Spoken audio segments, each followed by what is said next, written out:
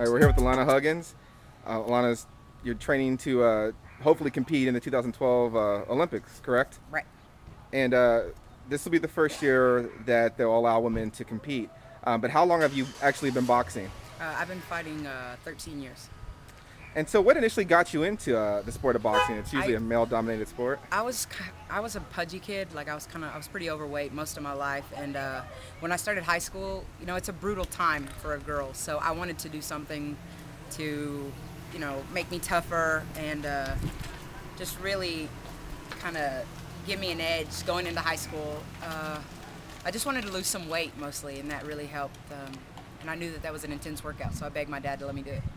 And so, you actually took a, a hiatus from the sport. Yeah, four years. Um, and what, what was the reason behind that? Um, I lost to the same girl that I had lost to um, twice in a row, and uh, I had told myself before I went, if I lost to her again, that it was a sign that give it up, let it go. And um, I felt like I got robbed. You know, she scored like 16 points at nationals, which in Olympic style scoring is unheard of.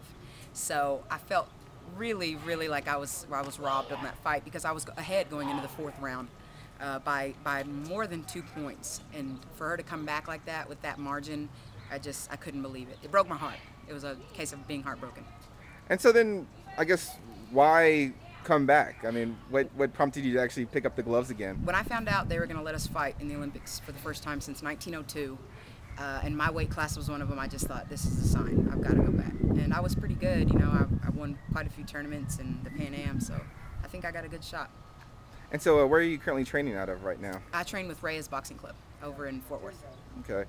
And uh, how has that how has that team helped prepare you uh, on the on the comeback road? Um, I, I boxed with uh, Tony Cabello, Vince Reyes, uh, Paul Reyes, and Ralph Casillas. And um, as a team, I could not have a better team behind me because I have they all kick my butt and uh, they push me to a, to my limit and way past it. And I feel like I've gotten further in these past two months than I could have on, on my own, you know, or with anybody else.